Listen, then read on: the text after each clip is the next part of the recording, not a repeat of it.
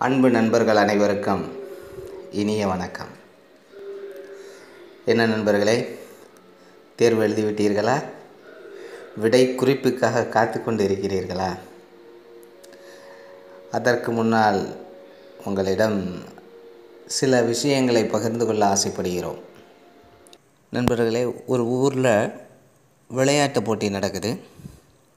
அந்த விளையாட்டு போட்டியில் ஒவ்வொரு போட்டியாக நடந்துக்கிட்டு வருது. இறுதியாக சைக்கிள் போட்டி நடக்குது. இப்போ சைக்கிள் போட்டி நடக்கும்போது அந்த ஊரில் இருக்கக்கூடிய எல்லா இளைஞர்களும் என்ன செய்கிறாங்க தத்தம் பெயர்களை வந்து பதிவு செய்கிறாங்க அப்படி பதிவு செய்யும்போது அந்த போட்டிக்கு ஒரு கால்களை இழந்த ஒரு நண்பர் என்ன செய்கிறாரு அப்படின்னா தன்னுடைய பெயரையும் பதிவு செய்கிறார் ஊரே வந்து சிரிக்குது. எப்படின்னா ரெண்டு கால் உள்ளவனே சைக்கிள் ஓட்டுறதுக்கு சிரமப்படுவான். இவன் பாரு ஒத்த காலை வச்சுக்கிட்டு என்ன செய்கிறான் சைக்கிள் போட்டி கலந்துக்கிறான்.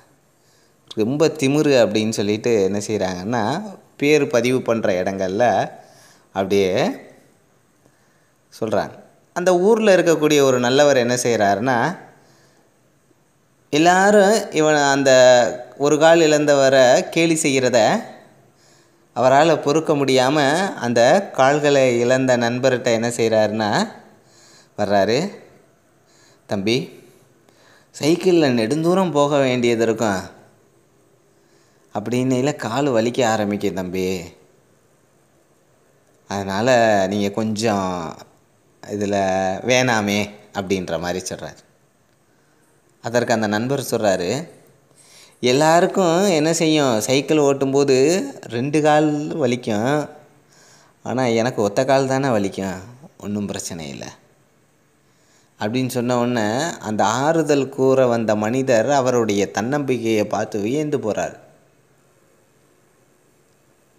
நம்மளுடைய பலவீனங்களை நாம் என்ன செய்யணும் நண்பர்களே? பலமாக மாற்றிக்கொள்ள வேண்டும். அன்ற அன்று அந்த காலி இழந்தவர் சொன்ன பதில் அவர் என்ன செய்கிறார்? போட்டியில் வெற்றி பெறுகிறார் தோல்வி அடைகிறார். அது அடுத்த பிரச்சனை. ஆனால் தன்னம்பிக்கையோடு என்னாலும் ஜெயிக்க முடியும் அப்படின்ற அந்த ஒரு நம்பிக்கையில் கலந்து கொண்டார் பார்த்தீங்களா? அதற்கு அவர் சொல்லக்கூடிய காரணம் பார்த்தீங்களா? அதுதான் நம்மளுடைய வாழ்வை வெற்றியை தீர்மானிக்கின்றது. பலவீனங்களையும் நாம் பலமாக பயன்படுத்தி கொண்டுவோம் அன்பு நண்பர்கள் அனைவருக்கும் இனிய வணக்கம்.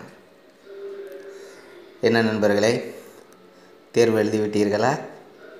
விடை குறிப்புக்காக காத்து கொண்டு இருக்கிறீர்களா? அதற்கு முன்னால் உங்களிடம் சில விஷயங்களை பகிர்ந்து கொள்ள ஆசைப்படுகிறோம். நன்று கருது நாளெல்லாம் வினை செய் நினைப்பது முடியும். எதற்கும் தயாராக இருக்க வேண்டும்.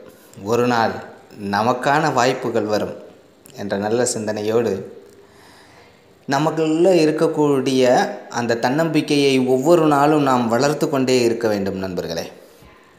விதைகள் தனக்கு தகுந்த இடத்தை தேடி முளைப்பதே இல்லை. மாறாக கிடைக்கக்கூடிய இடத்தில் தன்னை செடியாகவோ மரமாகவோ மாற்றிக்கொள்கின்றன அதை போலத்தான் நம் வாழ்க்கையிலும் விழுந்து விட்டோமே என்ற எண்ணாமல் விழுந்த இடத்திலிருந்து முன்னேறி செல்ல வேண்டும்.